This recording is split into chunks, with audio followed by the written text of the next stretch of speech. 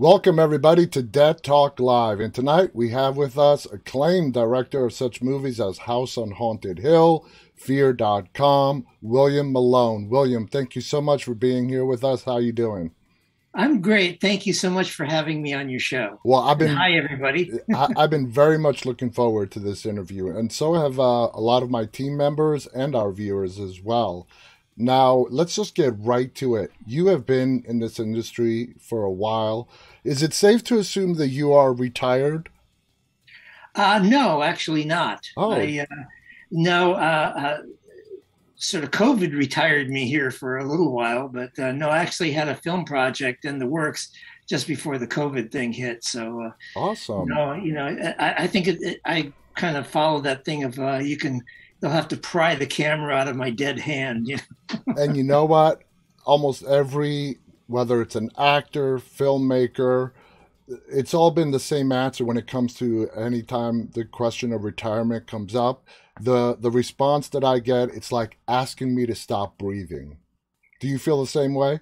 Yeah, I mean, look, I, I've been I, I started making little movies. I think when I was 12 years old, and my parents brought me bought me an eight millimeter camera, and you know, uh, I just can't imagine not doing it. You know, so it's, it's awesome. Just, it's awesome. It's what it is. So you've been in this this the entertainment industry now for forty plus years. Uh, you know, with regard to the horror genre, you have seen it go through a lot of changes. What are your thoughts on where horror is right now in terms of popularity and, you know, the quality of films that we're getting right now? It was a good question. I mean, you know, um, well, it's it's changed a lot. I think uh, uh, what's happened is that the the business has uh, changed so drastically. Uh, you know, primarily, I guess, because of the internet and also the availability of cameras and stuff like that. So there's a lot of films out there, and I think because there's so much content, it is it is in some ways hurt the quality of films. I, I think that there's there um, there certainly are still good films being made, but but I think when you had to shoot film, uh, there was sort of a, uh, you know, you had to know more about filmmaking. I guess. Is, yeah, it was. You know, to yeah. actually go do it. Computers have made it a lot easier now for people yeah. to get involved. And in regard to the content, you're absolutely right. Uh, when I want to watch a movie, let's say I don't have a movie specifically to watch and I just want to sit on my couch and browse, I got to research before I sit down because there's so much content out there. Well, yeah, I mean, it's funny because last night, actually, last night I was talking with my wife and we were sitting there watching, I think it was Netflix. We were scrolling through and we were, I don't even know where to begin. Exactly. I don't know. You know, and I thought, you know, maybe we should just do a thing where we start each movie and give it like 15 minutes and if it's, if it's you know and just move on if it's not good. I don't know. I don't know how else to deal with it you know? I know this um, francis coppola i think said when digital cameras first started coming out he said something like that he thought it was going to be wonderful that everyone it just means there's going to be tons of great movies coming no no, it was just there's just a bunch of there's everything. A lot of junk. yeah, there's a bunch of everything. Now, you are known primarily for your work in horror, but you have done the full spectrum from comedies to a little bit of everything all the way through horror. Uh, how do you feel about sort of being uh, labeled as this uh, horror director, great horror director? Well, thank you. Actually, actually, I'm totally thrilled with it because that's what I started out being. I actually got kind of got into it sort of sideways because I was working at this company called Don Post Studios, and uh, we used to make masks. But we also made a effects stuff for films and so forth. And and directors would come in. This is in the '70s. Directors would come in, and for the most part, they were directors who hated horror, but they somehow got stuck with doing a horror film. So they would ask for just terrible stuff, and I went God, you know, I love it. Why are you doing this? You know, so I think that sort of propelled me into say, oh, well, at least I can do better than this guy because I love it. Exactly. So. Do something that you love. Now, take us back. You brought up the 70s. Take us back to the 70s. Not just horror. What was the entertainment, the entertainment industry like back then? And that's well, so different from today. Well, it's very different. I mean, you know, first of all, when you think about the movies that were out, 70s, to my mind, was a horrible period for just about everything except for movies. you know, music sucked, the wardrobe sucked. It was just terrible. But but, the, but you had movies like The Godfather and Chinatown and and those are movies that wouldn't get made today. No. Those, no studio would finance those movies today, and it's a shame because, you know, um, you know, that's that's kind of what I, I think is a sad thing about what we're seeing happen. I'll tell you what. I took uh, my wife actually took my two teenage boys and sat them down, and they all watched The Godfather and The Godfather Part Two and The Godfather Part Three. They on their own now, they will just go back and just rewatch the whole thing again. They fell in love with it. It's a class. It's a timeless classic. And why do you think like movies like The Godfather would not be made today? Well, I think because the the studios now consider it like a niche audience, you know, and they're all about the blockbuster, yeah. and you know, and not that those occasionally some movies uh, you know, like maybe Phantom Thread or one of those things get made, but they don't have the budget that like no. Coppola had when he was making, you know, uh, the Godfather movies. And and uh, yeah, I mean, it's just an entirely different world. And all they want to do now is just make big blockbuster, you know, mostly guys in tights uh, movies. You know. Now let me ask you a question. Going back to the '70s, '80s, even the early '90s. Uh, let's take paranormal activity. It was done on a zero, ten thousand dollar budget. Was that even heard of back then? I mean, what was the minimum you needed to actually put a film together? Well, yeah, I don't, I don't think you could make a movie.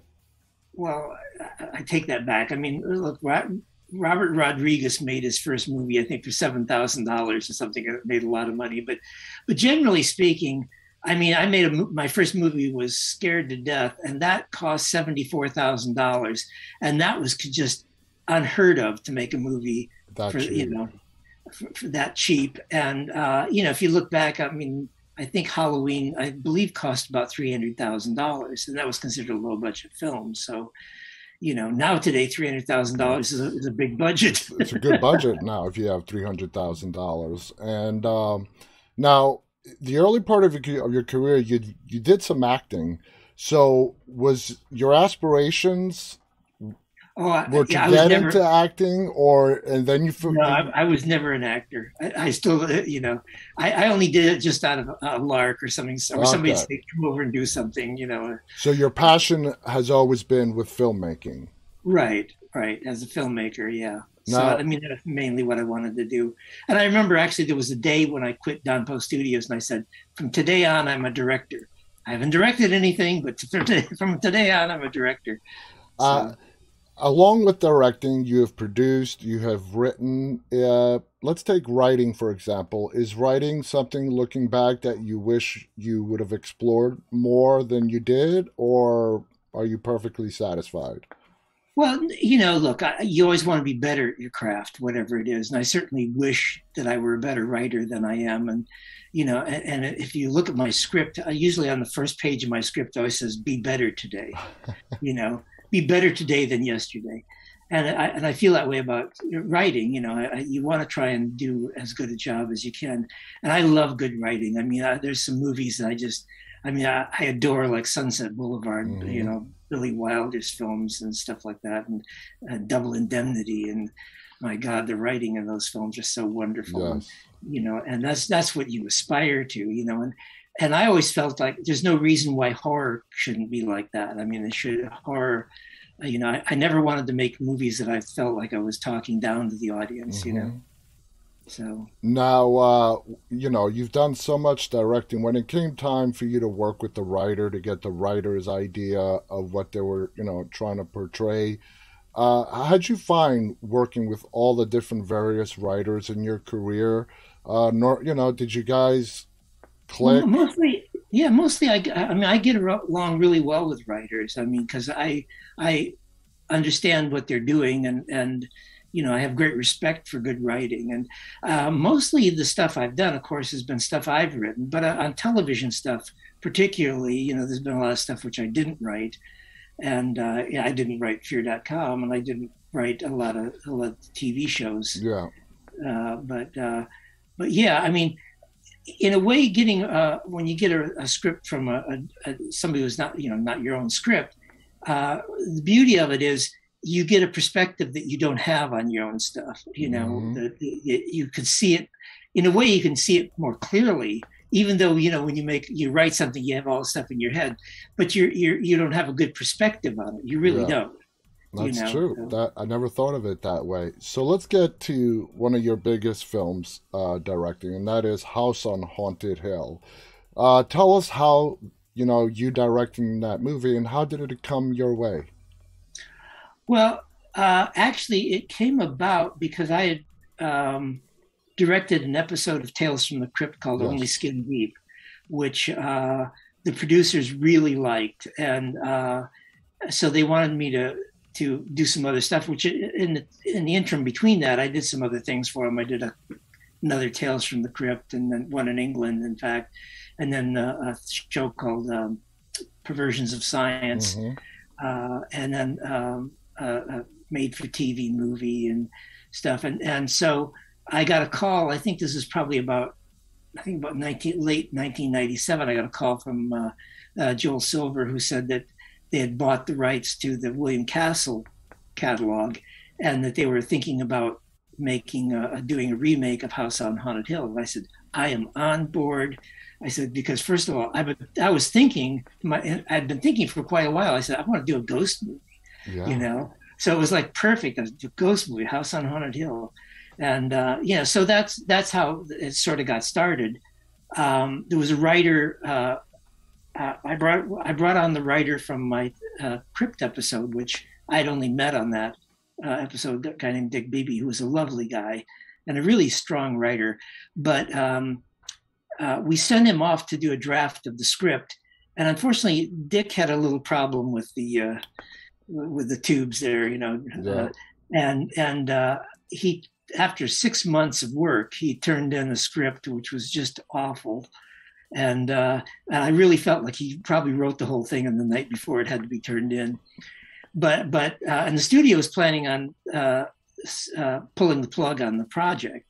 So I got I, I said, look, guys, just if you can just wait, let me talk with Dick. So Dick and I got together and I said, let's screen the original movie and write down everything we love about it and put it in the movie. It was just what we did. And I said, mm-hmm. no, now let's take, take the things that we would like to have seen and let's put that in there. And so that's really how we approached it. And once we we we both actually we I co-wrote the screen the the, the movie with him, and um, we took it back to the studio and they said, yeah, we, we love this. We want to make it. So that we then got the green light to go ahead with it. Now, the remake, your your House on Haunted Hill, has gained the following, as had the original, and you know it's still very relevant today.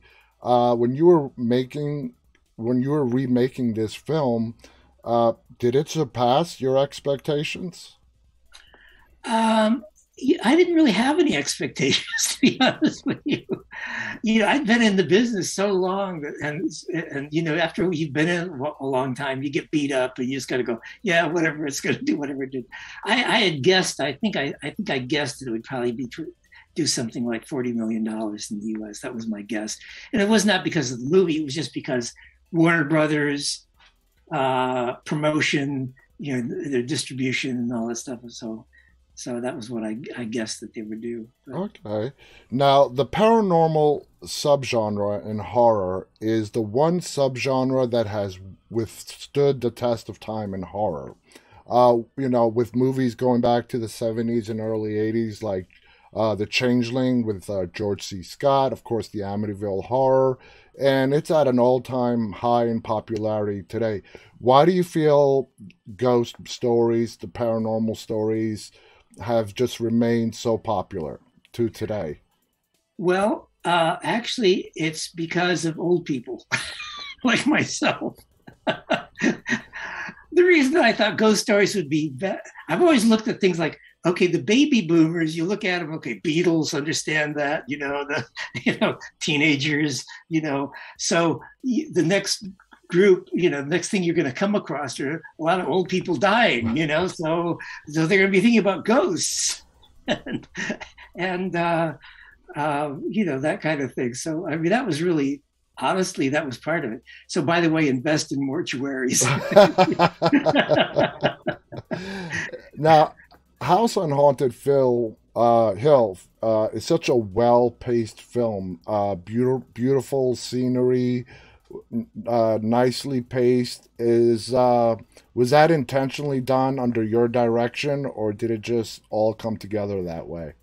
Well, you know, I look. I like I said, we we went back and looked at the original film, and we said, you know, it, it it had its own pace, which was had slower back then because that was the pace of films. I said we need to amp this up, which was the the idea. And um, uh, so yeah, I mean, I I was uh, very heavily into uh, working with Dick on making the picture, you know, move along. Um, the way it worked actually is is on the script. Dick wrote pretty much most of the character stuff because he was really good at that, and I think he's better at it than I am, and uh, and I wrote most of the the plotting and the and the the, um, the horror elements, you know, mm-hmm. and uh, so that's really how we divided up the work. Um, uh, so, you know, th- that was the, the, the approach that we took. But yeah, I mean, obviously we we tried to make it move along as well as possible. But I thought also I, I wanted to make a movie that was uh, you know scary um, and you know, later on we were winding up making it funny, and the, originally it was supposed to be just a straight scary movie. Uh-huh. That's that's another story completely because uh, two weeks before we started shooting, I started getting pages from the writers of Friends for some reason, and I'm like, okay. So I guess the studio wants Abbott and Costello meet Frankenstein, so that's how. How oh man! Uh, now uh, the 99 version, again, your version of uh, House on Haunted Hill, uh, seems to have been made for like a you know a mainstream audience back in the late 90s. Do you think that has helped it remain relevant even to today, as opposed to I don't know what the right way to say this is, making it for a particular kind of uh, audience that you could pay tribute to the original movie?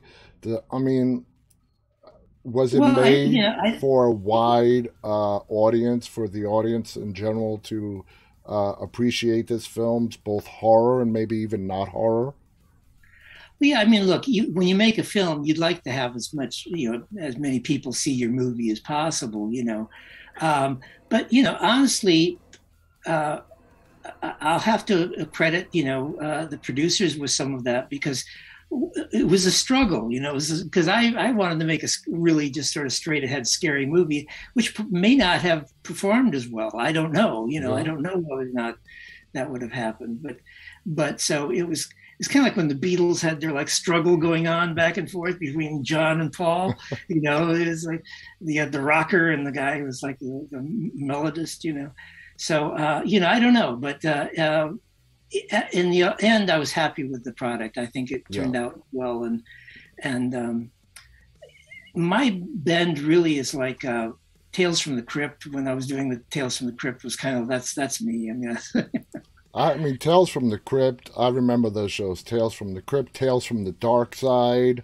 Uh, I used to love watching those little episodic anthologies back in the late '80s and even into the early '90s. Uh, in your opinion, would it help audiences who have not seen the 99 version of the film to see the original uh, and then see your remake? Or was it your intention when you made the uh, your version of the film that people did not even have to have heard of the original film? Well, yeah. I, I mean, look, I, I figured that probably most people were going to go see this never even heard of the original House on Haunted Hill. Yeah. Uh, you know, the studios like to buy those titles because they think that there's a lot of people who like will suddenly, you know, oh, it's House on Haunted Hill, but no, you know, uh, you know, the the demographic changes every what uh, 10 12 years or something like that or, or even sooner so you know i pretty much figured that nobody would remember the original. Yeah. So I, I had to, it had to be a standalone movie that you know would be appeal to modern audiences. Yeah. Now, now when the movie came out, uh, a lot of reviewers, uh, in regards to Geoffrey uh, Rush's performance, uh, said that he deserved a lot more recognition uh, for his amazing performance on that film. What was it? What was your experience like first working with Geoffrey? Well, Geoffrey, first of all, I gotta say I love Geoffrey. Geoffrey is is just a, he's he's obviously a great actor, but he's also was, was great to work with.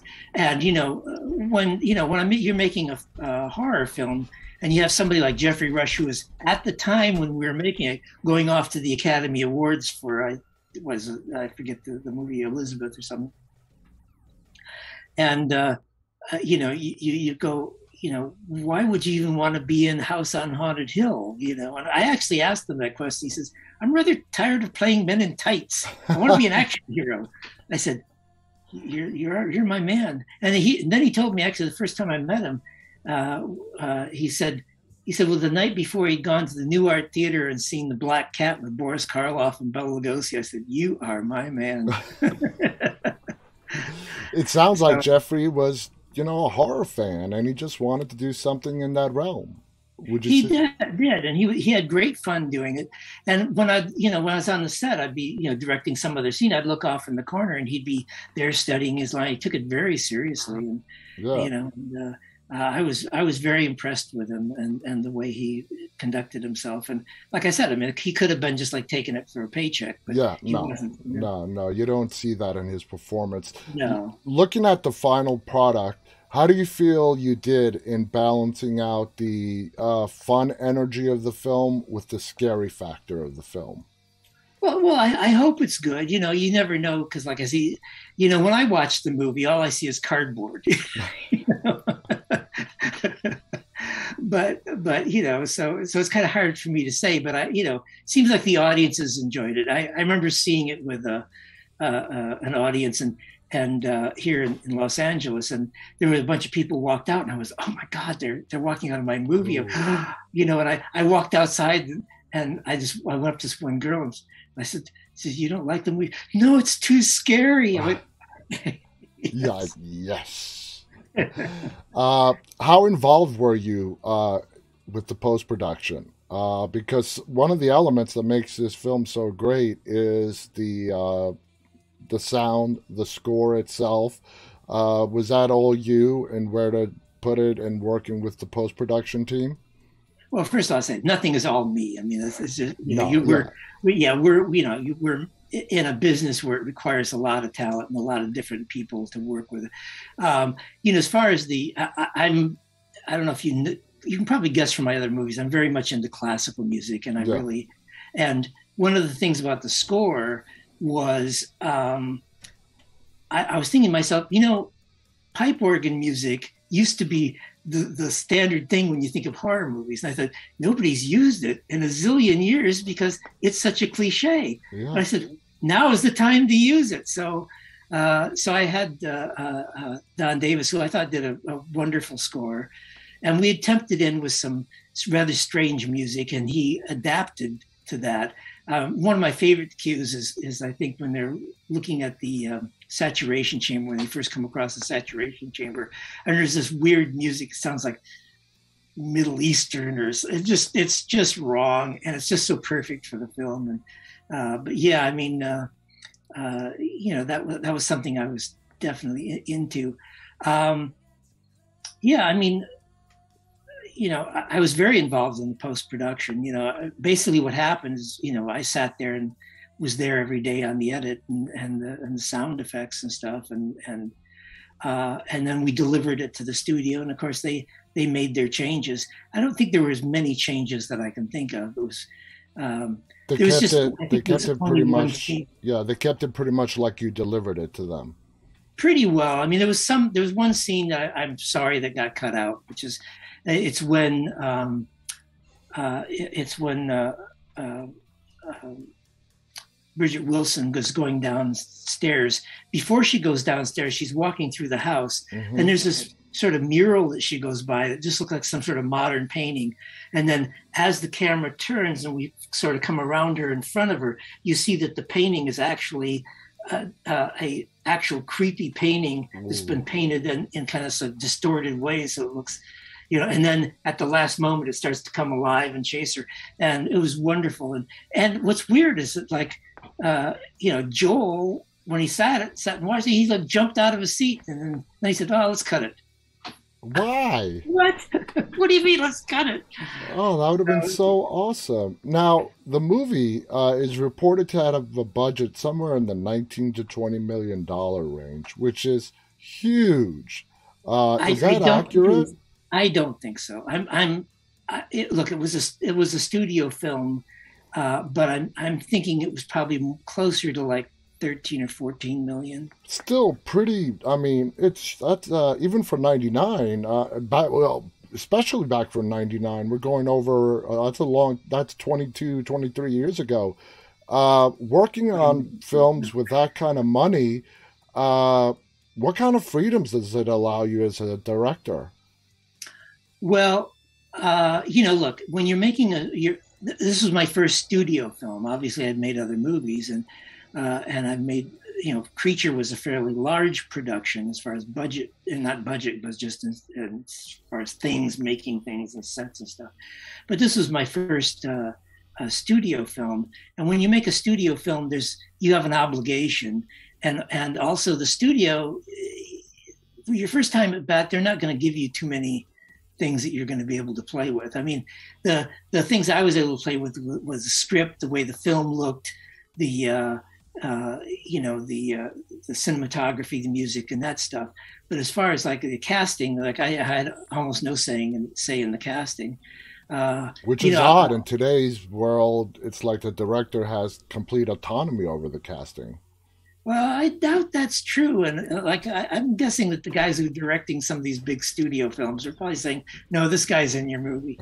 it's it's really a business where the uh, the tail wags the dog, you know, because they go, "Well, if we get this," I mean, that's how I wound up with Geoffrey. Fortunately, Geoffrey was on the was number one on my list, and I turned it in, and it turned out it was number one on their list. So that was a no brainer, you know. So I got Geoffrey, and then also. Um, uh, you know some of the other people that you know for instance i'll give you an idea what how the film would have been different my original idea was to have the um, uh, chris kattan played part played by uh, john hurt which of course would have been a completely different movie oh yeah you know so uh, uh, but I love Chris Kattan. He did an awesome job. He did, and you know, he was I believe before that or during that, like on Saturday Night Live, and right. it showed his flexibility as an actor to do this.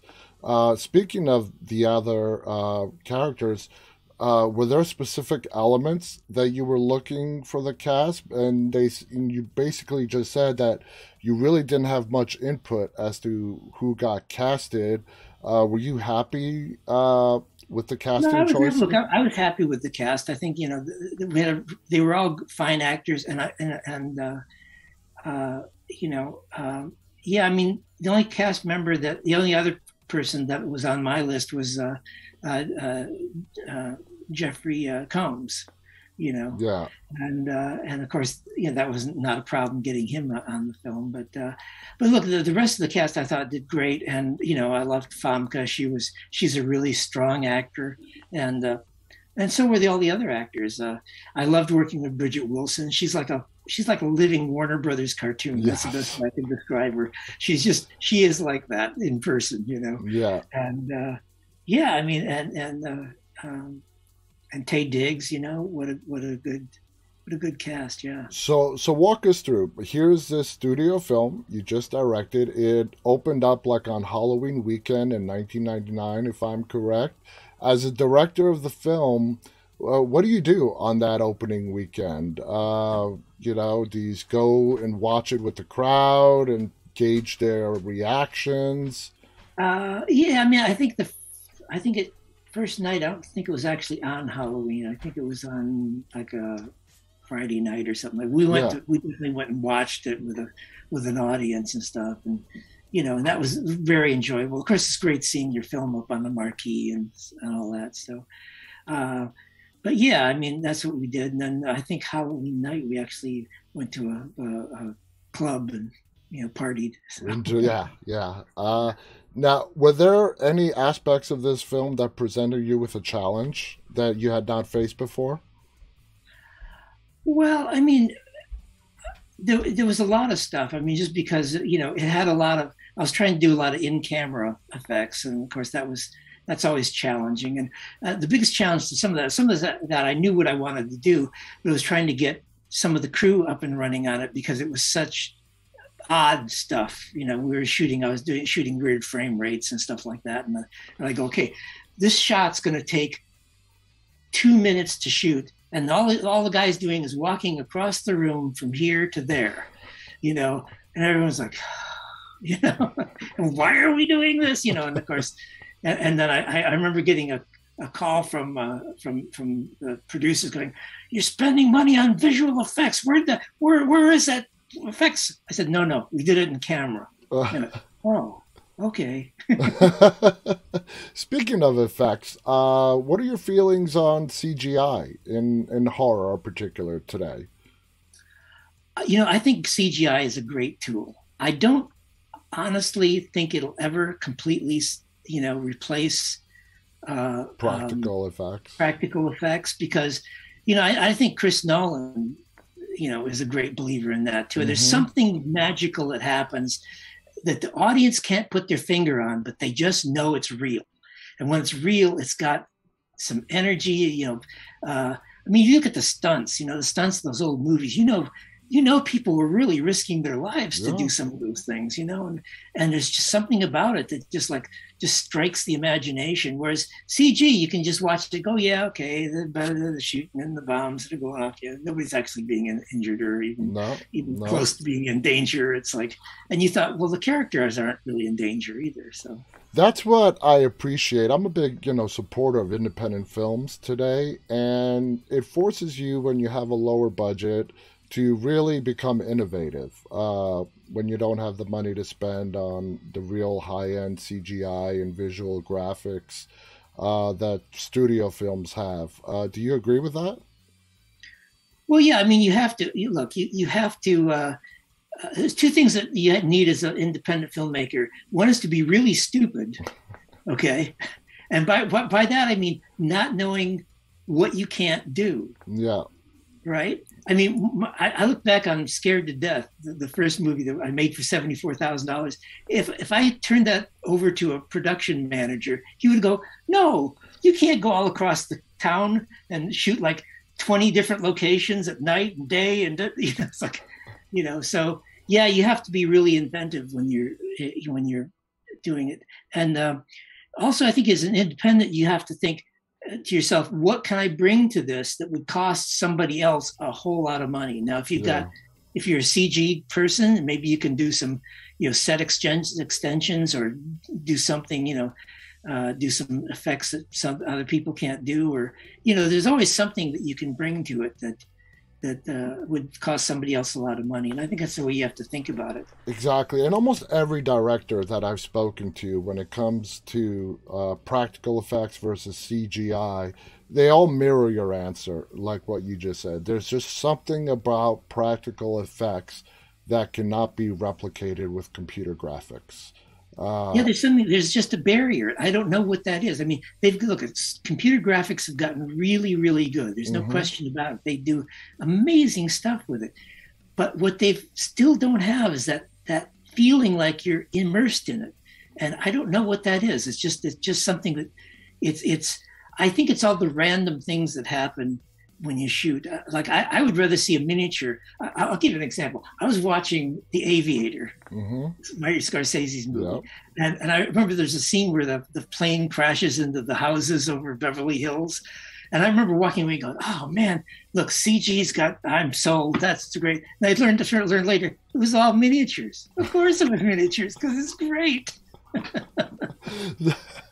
That's awesome. Uh, now, uh, so let me ask you this: How do you feel about going into a theater, you know, before COVID or even now, and you're going to see like a big budget film, like a Marvel Cinema uh, action type film, where you know you're going to get a lot of graph. Do you still, you know, put that aside and go in there, not as a filmmaker, but as a fan, and try to enjoy the movie? Uh, are you able to enjoy the movie?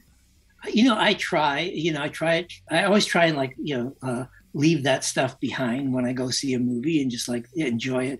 Um, I, I just sort of gauge it by am I in am I into the movie? You know, it, does is it carrying me away? Yeah. And if I'm sitting there looking at the shots, then no, they didn't do their job. You know, Because So- they're supposed to distract you from that and keep you Exactly. involved in the That's what story. movies- Most movies supposed to carry you away into a into a dream. That's that's one of the reasons why I'm not interested in making uh, dramas because I don't, Yeah. you know. Yeah. Now, as a horror director, uh, how do you feel about balancing gore, blood with good character storytelling? Well, look, I mean, uh, s- I think somebody once said, uh, you know, when, when the next day you don't remember you don't remember the plot, but you remember the characters.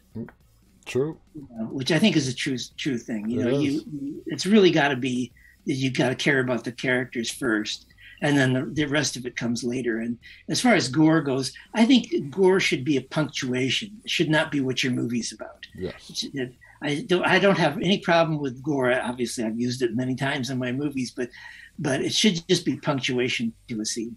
I absolutely agree with that. Now, in 2007, they did return to House on Haunted Hill, definitely because of the success of the 99 film. Were you ever consulted about it? Uh, what'd you feel about them doing a sequel? Well, actually, it was it was my idea. Actually, I remember I had lunch with Steve uh, Richards, who was the the guy over at Silver Pictures, and I said, I don't understand why you guys aren't doing a sequel to House on Haunted Hill. I mean, it's, it's made all this money, and uh, he walked away going, hmm. And that was the last I heard of it. So no, they never contacted me because, uh, you know, How do you feel about the sequel? uh, you know, I really don't want to comment on somebody else's movie. All I can That's say is. I, I guess my the only thing is, I, thought he did a, a, a you know a good job. The um, I was a little disappointed maybe that they weren't willing to build the sets and and you know make it the original. Yeah, yeah. I, could, I could see was, that. I think it's done in Romania or someplace. And Yeah, yeah. It's amazing how many movies are now shot in these uh, very uh, unexpected locations. Obviously, it all comes down to dollars and cents. It's much cheaper. Now, House on Haunted Hill, uh, the location is reported to have been shot uh, just outside Griffith Park Observatory. Could you talk more about the location and how did that all work out for you for uh, House on Haunted yeah, well, Hill? we we looked for a long time actually trying to find a place for the Vannacutt Institute, and uh, somebody suggested that, um, that we go look at uh, uh, Griffith Park, the observatory. And my initial reaction is, "Oh God, we've seen that in movies a million times." I said, "But I'll go look at it." And then I realized that when I went there, that I walked down the, the front side of it, and I said, "Nobody ever shoots this side of it." You know, they always shoot the back side. You know, or the, the parking lot side. I said, let's Yeah. go down the hill. And I thought, well, this actually kind of looks different and kind of weird. I said, let's uh, do some extensions on it. Maybe it'll work. And and I, I was totally happy with it once I saw it. And then, of course, Bob and Denny Skotak built this great miniature. Oh, yeah. Oh, the- yeah. Now, uh, when you realized and knew that you were going to be directing this, uh, you know, you had seen the original. Did you go back, do any extra research on the original film uh, besides just rewatching it again? Well, I actually I didn't really have to because Terry Castle, William Castle's daughter, was on the set. Oh, Yeah, yeah, and she came down. And she she, God bless her, she gave me uh, Bill Castle's uh, uh, binder for House on Haunted Hill, so I was able to use that, and I kept it, and it's great. Uh, but yeah, I mean, uh, uh, I had seen it a number of times. I actually saw it when it first came out when I was a little kid, you know, and so I was pretty familiar with the movie, you know. yeah. Um, so, Now, yeah. you are considered, uh, rightfully so, as one of the masters of horror. And that, boy, that is a title to have. What are your inspirations when you're going in and directing a horror film? Is there any uh, style that you pick from? Well, you know, I, I have a, a a great background in. I, I love silent movies. I love, uh, uh, you know, a lot of movies from the 40s and 30s, and and and of course the golden era of the 50s. Uh, but um, yeah, I mean, uh, uh, that's really the stuff I pull from. It's like, uh, you know, I love like the, as I mentioned before, the Black Cat. If nobody's ever seen that, that's the most twisted movie. You know, you couldn't make that movie today. You know, Bela Lugosi and Boris Karloff. I'll get, okay, spoiler alert. Bela Lugosi skins Boris Karloff alive on a rack at the end of the movie. Okay, this is 19. I know. For back then, that's like unheard of. And, and and Karloff is like encased has been killing off his wives in some sort of uh, uh, devil worshipping uh, cult and and has them encased in plastic in the basement. Yeah, yeah. But no, yeah. So I love all that stuff, you know, and and movies like Faust. If you've never seen the silent movie Faust by Murnau, no, I don't think I have. Oh, that is so good. And uh, you know, of course, the, the classic things like Cabinet of Caligari. And I would urge people that if you're a young filmmaker, maker, go back and watch silent movies because I know you're thinking, oh my God, they're silent and they're black and white and they're they're boring. No, they're not boring. They're no. boring only if you pick the bad the bad ones. Just like it'd be like picking some you know bad movie today and saying, "Oh, well, that's what all movies like yeah. like from this period."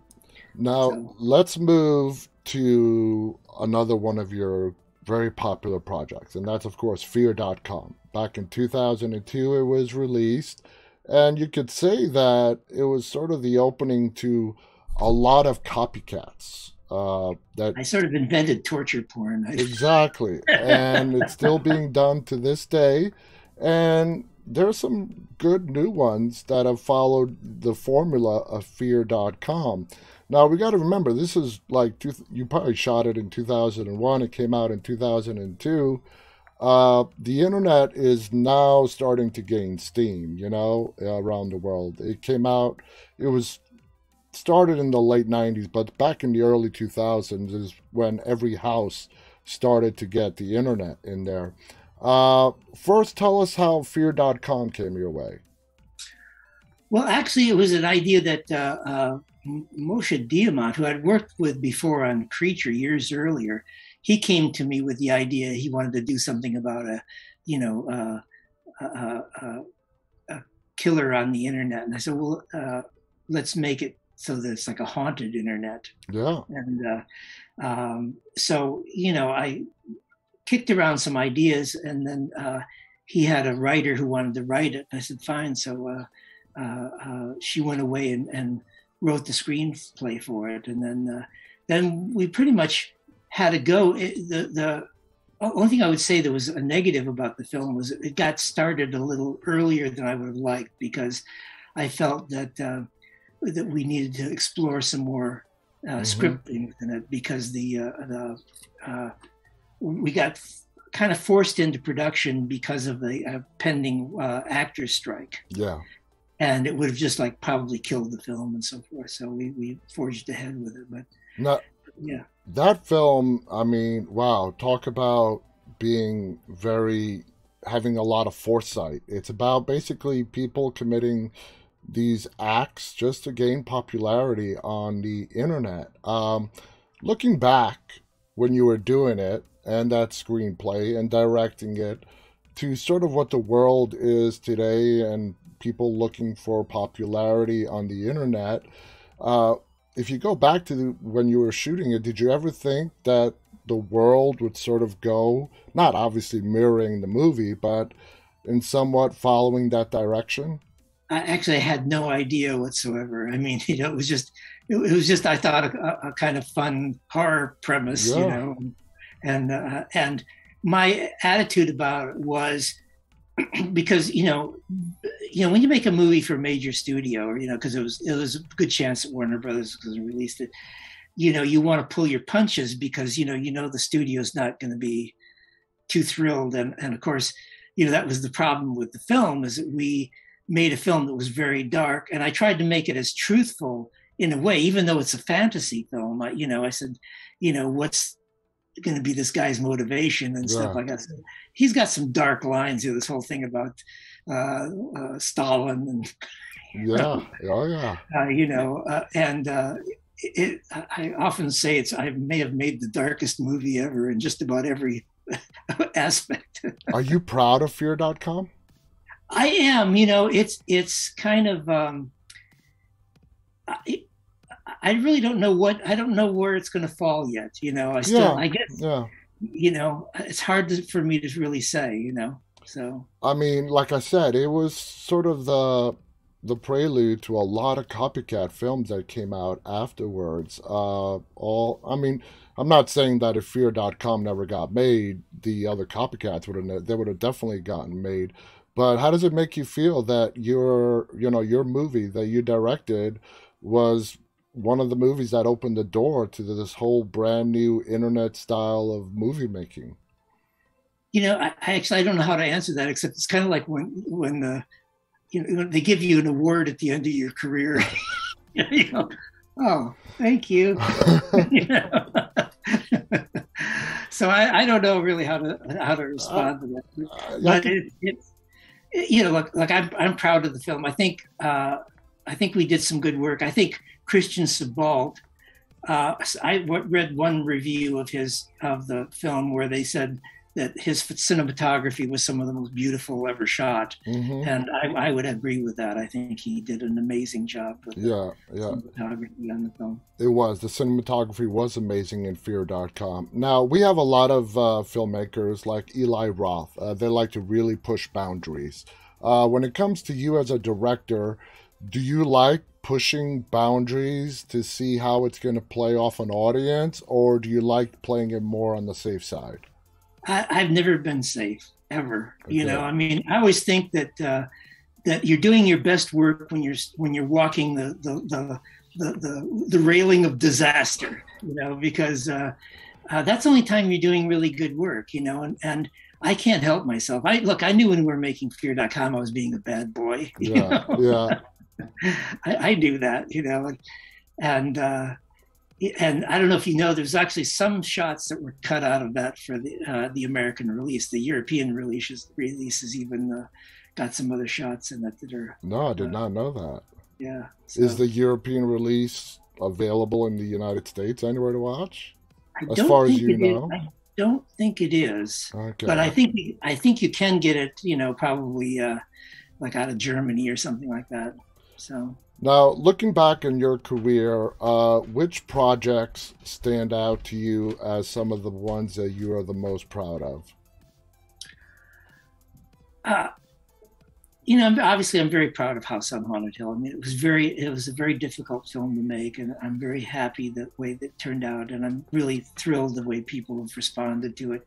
Um, you know, probably, uh, I think uh, my first Tales from the Crypt episode is one I'm very proud of, the Only Skin Deep, because it was like it was like a perfect gift to me. They sent me the script, and I thought, oh man, I know exactly how to do this and uh, I felt very happy with the way it turned out. And um, and then the, the Masters of Horror that I did, uh, you Mhm. know, um, and uh, you know I'm also very proud of Parasomnia, which uh, not a lot of people have seen, but we're going to do a, a re-release of it soon with uh, some new effects in it, and so Nice. yeah. So, uh, like I said, a large experience. Uh, you have done a lot of also made for TV movies. Is Yeah. there any difference when it comes to directing uh, uh, a feature film that's going to go to theaters as opposed to something that is going to go straight to television? Well, it's drastically different. It really is.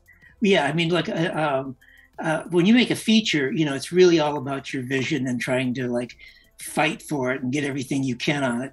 Most television shows, now I, I wouldn't say that certainly. I've done both, where it's it's completely my vision. Like Masters of Horror was, I, I, had no interference. I could do whatever I want, and the, and also the Tales from the Crypt. That was just by default because by that time the producers didn't care about the show anymore. so I was able to do what I wanted. But uh, uh, but mostly when you're doing um, TV, it's uh, it's a really a producer's medium, and you're you're really there to serve what their their vision of it is, and you you don't want your episode to look different than everybody else's because that's not that's not what you're, you're there for, you know. So so uh, and usually the shows that I've been on that were like you know episodic things that I've done were shows where they've been running for a while, and you know you just come on and and you know you try try to make the day and, and make it as good as you can make it and, yeah. and, and walk away. And, and it's, it's more like a that's like a real job. That's like you you you walk in you do your job they pay you you walk out. But uh you know feature films not like that. That's something you nurse along for years and you sweat and you tear your hair out you know. I, I mean i got a bleeding ulcer making house on haunted hill you know so. Which of the two do you say do you think uh, allows you to be more creative well, certainly. Uh, well, I don't know. Actually, I've been very been able to be creative on some of the television shows I've done. Like I said, because of the because of the particular shows I did. Uh, mm-hmm.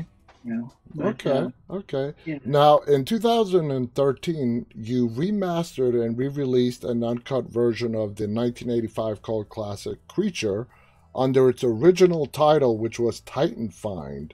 Now, Right. What are the major differences between the original release and your uncut version? Well, uh, a little backtrack on the history of, of Creature is um, when we first released, when we first finished the film, um, we struck an answer print and we were all very happy with it. And then I think we showed it someplace, and one of the, a couple of note cards said they thought it was a little too long, or the theaters thought it was too long, or something.